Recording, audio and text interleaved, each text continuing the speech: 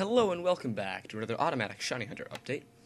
Uh, in this video I'm going to be demonstrating a new mode that I've included to the brand new software that allows for the direct interface between the computer and the 3DS. Uh, and so here's the software. I can scroll through the comms and select the Arduino, connect to it, go into manual control and press all the buttons that directly correlate to the 3DS. Now I can uh, put my 3DS in and I'll do a little demo of pressing the buttons from the computer.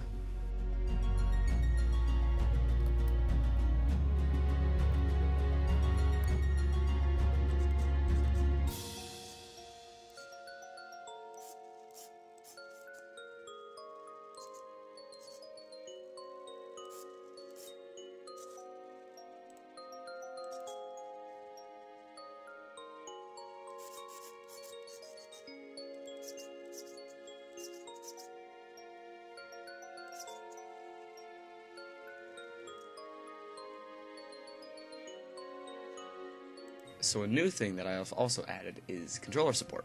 So uh, I'll be showing that off with my GameCube controller because I have a GameCube to USB adapter on my computer.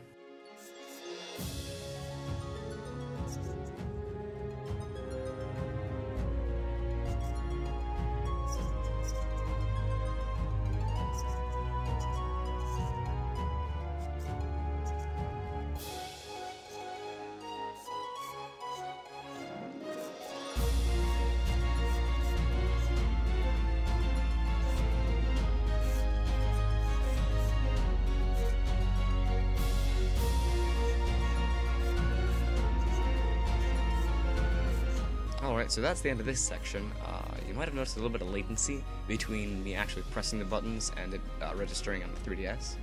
That's because it takes a little bit of time for the servos to rotate and hit the buttons, but uh, that could be fixed uh, with a new redesign of the heads, which I'll probably do in the next uh, revision.